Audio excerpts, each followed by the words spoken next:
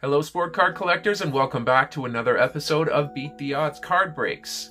We have something very, very special to show you guys here today. We are about to launch our first ever Beat the Odds mystery packs. This one's going to be called Basketball Version 1. And in front of you here, you're going to see some of the uh, chase cards that you can get in these packs.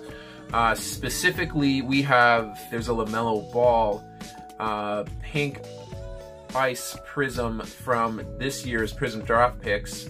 Uh, Anthony Edwards from Cru- or Crusade from uh, this year's Prizm Draft Picks as well. That's the number one pick.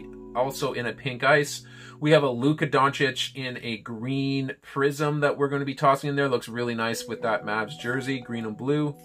Uh, we have LeBron James in the orange and purple. Again, a good match for his jersey there as well. And then, of course, you'll see on the left there is a BGS graded 9 uh, mint condition Zion Williamson Crusade card from last year's Panini draft picks that we will be inserting into a random pack here too.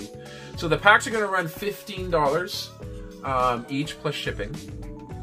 Um, and inside you will see 10 cards and a good mix of uh, rookie cards in there. There's going to be inserts. We'll have some parallels.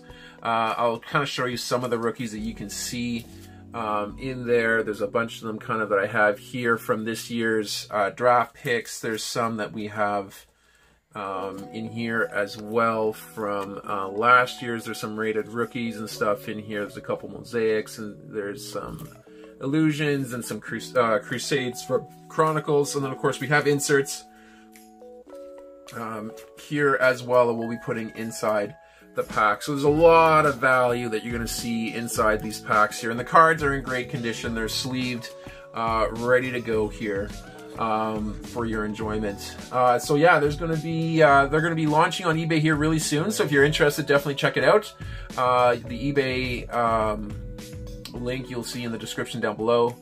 Um, and we are hoping that these go here pretty quick. So if you're interested in them here, I would suggest uh, jumping on that here as soon as you see them, so that way you can uh, be a part of our first inaugural uh, mystery packs. We're super excited to do this here, so hopefully you guys will enjoy the uh, the packs as they come out. So that's gonna do it for the episode here for for now.